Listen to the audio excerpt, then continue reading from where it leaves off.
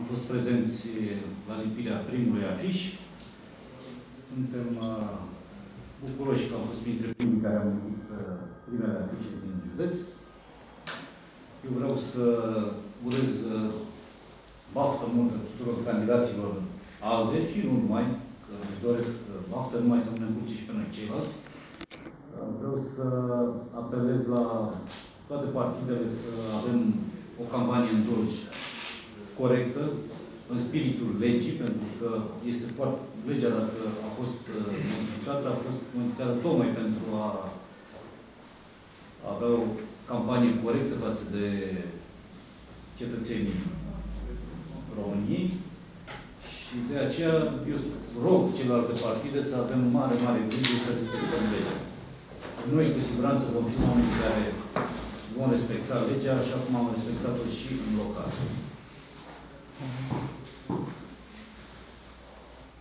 Astăzi o să rog colegii mei să prezintă două subiecte de început de campanie care sunt puțin mai acide, dar considerăm că acele gafe pe care PNL-ul le-a făcut trebuie sancționate chiar de la începutul campaniei, pentru că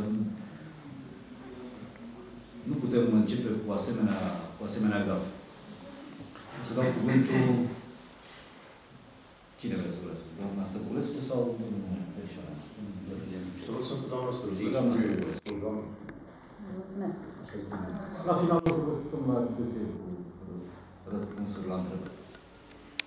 Alde Dolci și, în primul rând, femeile din organizația noastră sunt puternic revoltate de maniera în care o femeie lider, cu pretenții liberale, încearcă să manipuleze opinia publică. Domnia sa se folosește într-o manieră nepermisă de un copil într-un filmuleț cu evidentă tentă electorală, lucru de altfel interzis de lege. În acest filmuleț pe care cu toții probabil l-am văzut, președinta PNL convinge un copil singur acasă să-i deschidă ușa spunându-i că Victor, este vorba de Victor Ponta, vrea să-i copieze temele de la școală, iar Liviu, este vorba de Liviu Dragnea, vrea să-i fure semișurile, vrea să-i fure mâncarea. Împărtășim comentariile celor de pe rețelele de socializare, foarte multe comentarii de altfel, care sunt de-a dreptul revoltați de gestul penibil pe care liderul PNL, Alina Gorghiu, Uh, l-a făcut un, uh, un gest evident de maxim prost gust care sfidează bunul simț public. PNL dovedește și cu această ocazie că uh, prin acest gest dovedește un derapaj uriaș de la valorile liberale. Dovedește că este capabil de orice ca să își atingă ținta este capabil de un uh, joc uh, josnic, de un joc murdar, doar pentru a câștiga voturi. Ne întrebăm cât tupeu mai poate să aibă doamna lider PNL, doamna Gorghiu, să bată la ușile românilor după acest uh, gest rușinos. Mulțumesc. Am rămas doar cuvinte la comentariul colegii mele, un comentariu bine punctat, dar dacă am rămâne numai pe el, parcă nu ar fi totul de ajuns. De ce? Pentru că pe 11 decembrie dolgenii au făcut o alegere foarte, foarte importantă. Uh, dacă se vrea din nou un regim de tipul Boc sau o guvernare de tipul Tăricianu Ponta. Și vă spun acest lucru pentru că fiecare zi care trece, constatăm că PNL-ul vrea cu tot din adinsul să devină fostul și un nou PDL, un partid al austerității, un partid al tăierilor de salarii, de pensii, al uh, creierii de necazuri, de nevoi, de durere pentru cei mulți. A susține un premier Cioloș, care primește, așa cum bine știți, o sumă importantă de bani de la Consiliul Europei și are și indemnizația de premier. Și a premier care contestă la Curtea Constituțională acea mărire infimă de salariu pentru cei din uh, sistemul sănătății sau din uh, sistemul învățământului, cred că este o mare greșeală, pentru că uh, aceste acțiuni sunt împotriva poporului tău, împotriva celor mulți, sunt acțiuni care mențin oamenii din cele două ramuri de activitate în aceeași mediocritate salarială care nu le ajunge să-și încarce coșul zilnic. ALDE consideră că medicii, profesorii, învățătorii, profesorii, cei din uh, personalul auxiliar, sunt uh, vitali pentru societatea românească, pentru evoluția societății și merită un pic mai mult, merită ceea ce ar trebui să le dăm. Acea mărire de salariu care până la urmă nu ni s-a explicat de ce nu poate fi acordată. Pentru că motivația că nu sunt bani este puierilă. În primul rând ne lăudăm că avem o creștere uh, foarte mare, o creștere economică de 6%, printre primele țări din Europa. În schimb, nu putem să aducem uh, cele două sectoare pe linia de plutire, ca să mă exprim mai plastic. Uh, acest lucru determină o serie întreagă de neajunsuri. Știți foarte bine, ne pleacă copiii din țară, ne pleacă medicii, ne pleacă asistentele, iar nu ne facem nimic pentru acest lucru. ALDE își propune să, uh, prin programul economic pe care, cu care vine în întâmpinarea cetățenilor României, își propune să uh, îndrepte aceste nedreptăți, aceste lipsuri și să înceteze, să încetăm odată pentru totdeauna cu aceste măriri de salarii care până la urmă nu sunt nici pomeni electorale, sunt niște adevăruri, sunt niște nevoi ce trebuie să acoperite financiar. Vă mulțumesc. Da, și eu vreau să comentez puțin pe, această, pe acest subiect. Nu pot să înțeleg cum uh, oameni liberali sunt împotriva, sunt împotriva unor profesii liberale, e vorba de medici, și mă refer la mărirea de salarii, și mărirea de salarii nu se face cu 50%, 70% sau 100%, este vorba doar de 15%, un minim pentru subsistența acestor oameni. De asemenea, de asemenea, nu pot să înțeleg cum pot să fie împotriva măririi salariei profesorilor, profesori care vrem, într-adevăr, să educe copiii astfel încât să avem în viitor, în viitorii ani, să ne putem baza, pentru că noi, cei care suntem de aici, mai tineri, mai în vârstă, nu lăsăm în urma noastră decât copiii. Ori dacă educația, educația și educația se face prin profesor, iar profesorul nu le dăm ce trebuie să le dăm și să-i stimulăm, noi am, s-a propus și s-a votat un minimum de 15%. Este un minim necesar. În alte țări, cum ar fi Japonia, de exemplu, însă și împăratul Japonia are un respect deosebit și este singurul care se împlină în fața profesorilor.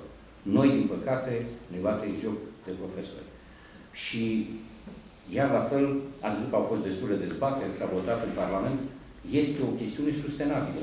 Nu poți să spui că o creștere atât de mare România se află la ora actuală, așa cum sunt datele statistice, pe primul loc în ceea ce privește 6%, în ceea ce privește dezvoltarea economică, creșterea economică. Ori este nepermis și s-a făcut calcul, ați văzut că s-a explicat destul de clar și în Parlament de unde sunt aceste resurse. Asta ca să mai completez despre nepăsarea și uh, indolența care este pentru două pături care ar trebui să fie pături de mijloc, în primul rând medici. Uh, aș vrea să mai puntez o singură chestiune și anume faptul că și a început campania electorală, v-am promis, și pe parcursul campaniei electorale vă vom da elemente de cum gândește Alde Dolci dezvoltarea județului. Unul din punctele respective se va referi la infrastructura care trebuie să conecteze infrastructura, mă refer, uh, rutieră, feroviară, chiar navală, chiar fluvială, pentru că în cadrul județului Dolj există aceste posibilități. Craiova cândva era un mare nod rutier, era un mare nod feroviar. Vrem să facem în acest sens ca, într-adevăr, Craiova să devină un mare nod uh, feroviar. Să nu uităm, și vă dau un singur element și cu asta închei, că este una din principalele, sau ar trebui să fie una din principalele căi ferate, care, uh, Craiova, Calafat, mai ales că s-a făcut și podul, care este neelectrificat. Dar despre aceste chestiuni, pe parcursul campaniei, vă vorbi foarte mult. Vă mulțumesc. Vă mulțumesc mult. Acum o să vă răspund o întrebare care sigur va veni. Uh, targetul uh, al de Dolj în aceste alegeri. targetul nostru este să ducem uh, alte dolci în Parlament și în Camera Deputaților și la Senat. Iar ca procent, uh, cel puțin o cifră formată din un rezultat format din două cifre. Întrebări dacă Domnul Pan se întreba cum pot să fii liberal și să fii împotriva urmării de salarii ale profesii liberale. Vreau să amintesc că în 2008, domnul Cărpiceanu s-a opus mării cu 50% a salariilor profesorilor, pe care a considerat-o doar o strategie de campanie a PSD. Și atunci spunea că mările de salarii făcute în prag de alegeri riscă să arunce România în criză. De acord. Eu vă spun că sunt în cunoștință de cauză, am participat efectiv în Parlament la acest lucru. Aici este vorba de o ordonanță de guvern, da? de urgență. A fost promovată de actualul guvern în urma unor discuții cu sindicatele din sănătate și învățământ, dacă ne aducem bine aminte. Această discuție cu sindicatele a luat o altă turnură pentru că s-a prelungit și au venit amendamentele. Normal, Parlamentul, pentru că știm bine că noi ne-am opus în permanență acestui guvern, adică am arătat ce nu este în regulă și am tot spus că nu e în regulă. Iar acum, uh, guvernul a venit în vara asta, odată, finalul verii, a venit și a arătat că, de fapt, România este un drum foarte bun, că avem creștere economică. Bun, noi am întrebat unde sunt banii. Dacă este creștere de 6%, unde sunt banii? De ce aceste două segmente, uh, sectoare, învățământul și sănătatea, să nu beneficieze de aceste creșteri? Mai ales că dacă ei luăm cifrele, domnul Dragnea a avut în Parlament și a explicat foarte bine exact pe înțelesul oamenilor că bani sunt. Trebuie voință politică. Iar noi, ca și Parlament, ne-am exprimat voința politică de a majora acum uh, salariile la modul ăsta și vă mai spun ceva. PNL-ul arată încă o dată o, o, un lucru urât. Vine și spune, pleacă din sală acum, trimite doar un singur om care să reprezinte PNL-ul acolo, dar când ne uităm în programul care vine în campanie, arată măriri de salarii la, la sănătate cu 100% din 2017. În ce lume suntem acum? Aproape decembrie. Nu e finalul de noiembrie, început de decembrie. Adică în ianuarie sau februarie sau martie o să apară atât de mulți bani încât să majorăm salariile cu 100%, iar acum nu avem 25%. Când se arată că, de fapt, nu s-au făcut investițiile care trebuiau, care nu ai cum să le mai faci într-o lună, nu ai cum, nu există tehnic posibilitatea și în uh, anul următor, adică mințim oamenii că majorăm cu, cu, cu 100%, pentru că asta înseamnă, dacă spui că nu avem bani acum, avem la anul. De ce? Și eu aș vrea să aș vrea să mai deci, comparația, să vedem, e o comparație. Și astăzi, în 2008, dacă ne amintim bine, în primul rând, în 2008, mărirea de salarii era, peste, era 50%, da? Ori acum este decât 15%, în primul rând. În al doilea rând, în 2008, atunci era prim-ministru, pe adevăr, domnul Tăricianu, și avea informații și știa că urmează panta aceea și știți foarte bine de criza care a urmat în 2009. Și nu numai că nu s-au mărit salarii și n-a fost posibil, dar știți că în 2009 chiar a fost tăieri de salarii, 2010 și așa mai departe. Deci e, sunt două momente diferite. Pe când acum, pe când acum ne-am lucrat pe ceea ce spune guvernul. 6% creșterea, dezvoltarea economică. În momentul în care atunci se știa clar că va fi o descreștere, acum e clar că e o creștere. Iar tot la fel nu poți să mărești, așa cum s-a spus, la anul 25%, iar acum pentru la anul noi propunem decât 15%. Iată de ce sunt elemente care ne determină, în afară de calculi care știți că s-au făcut foarte bine, suma care uh, uh, ajunge la circa deci, vreo 2 miliarde aproape, din 4 miliarde, pentru că din 4 miliarde se reîntorc banii și așa mai departe, 49%. Iată de ce noi susținem și suntem de acord cu această nu, nu e o chestie de, de, a, de a face politică, de dragul a face politică, ci e o chestie reală, plecând de la datele guvernului. Și va explica destul de bine și domnul deputat ce Eu- s-a Eu întâmplat să cu vă rog Parlamentul. ceva. Întrebați parlamentarii PNL-ului, dar în particular, sau individual. Întrebați dacă sunt de acord cu creșterea salariilor sau nu. O să aveți surpriză. Da. Eu altceva aș fi vrut să mă întreb. Dumneavoastră, ca parlamentar, nu considerați că ar fi mai bine, nu, nu știu, cu șase luni înainte de alegeri, să nu se ajungă la astfel de discuții mereu, măriri de salarii, de pensii, când trei ani jumate nu se discută nimic și toate se comasează în ultimele da. luni, Ba da. înainte de alegeri, când apar suspiciuni, vă dați de ce se întâmplă acum. Eu sunt de acord cu dumneavoastră că aceste suspiciuni sunt uh, reale, dar ne aducem aminte că acest, această ordonanță și aceste măriri de salarii au apărut la presiunea oamenilor din sistem. Au făcut grevă generală. Nu? nu? Da, dar în vară, dacă, dacă Acum. în vară e vorba, nu e vorba de Și acum. discuția despre ordonanță este, uh, e din vară, zi de acum. Deci cu șase luni înainte. Acum, Că eu vorbesc în general, că acum a apărut discuția și de impozitarea pensiilor până la anumit quantum sau de toate pensiile. Deja, iarăși intrăm în, în discursul acela de campanie în care sunt bani pentru de toate aici. Bun, nu cred că de la noi. Nu, nu, Parlamentul nu nostru, sunt nesustenabile. Bun, acum dacă ne uităm în Parlament câte inițiative sunt și za prin septare, sunt fel fel de inițiative, dar o inițiativă trebuie să treacă prin circuitul real, corect. Eu nu mi-aduc aminte de așa ceva. Deci singurul element care s-a votat, s-a votat clar mărirea salariilor la profesori și la medici cu 15%. Punct. Atât. Restul sunt intenții, vor fi intenții, așa cum a zis domnul deputat, că zac prin foarte multe sute, poate de propuneri, cu totul și cu totul altceva. Dar eu aș întreba de ce nu au luat în discuție ordonanța care a aplicat în Camera Deputaților, mărirea de salarii la, uh, la miniștri, la demnitari. Nu mai știe nimeni, de nu întreabă nimeni. La președintele României.